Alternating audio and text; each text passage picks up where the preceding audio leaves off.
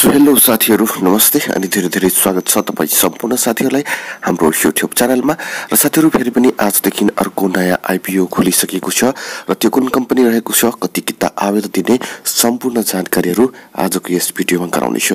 So आउनु साथीहरू भिडियोलाई अगाडि बढाउँ। साथीहरू सुपरमाई हाइड्रो पावर लिमिटेडले सर्वसाधारणका लागि निष्कासन तथा बिक्री खुल्ला गरेको साधारण सेयर आइपिओ आज माघ तेइस गतेदेखि आवेदन दिन सकिनेछ। कम्पनीले यसअघि नै आयोजना प्रभावित र स्थानीय आयोजना प्रभावित र वैदेशिक रोजगारीमा रहेका नेपालीहरूका लागि आइपिओ बिक्री खुल्ला गरी बाँडफाँड समेत गरिसकेको छ।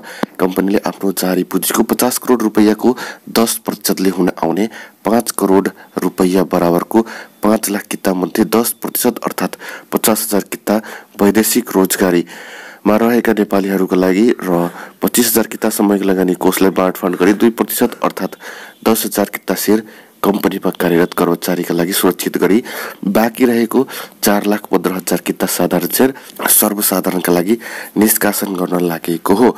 कति दिने आवेदन त साथीहरू यसमा यस आइपिओमा लगानीकर्ताले न्यूनतम दस कितादेखि अधिकतम बिस हजार कितासम्मका लागि आवेदन दिनुपर्नेछ लगानीकर्ताले छिटोमा माघ छब्बिस गतेसम्म र ढिलोमा फाल्गुन आठ गतेसम्म आवेदन दिन सकिनेछ।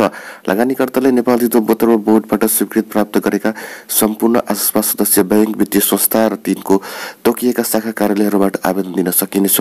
यसका साथै मेरो सेयर एप्सबाट पनि आवेदन दिन सकिनेछ।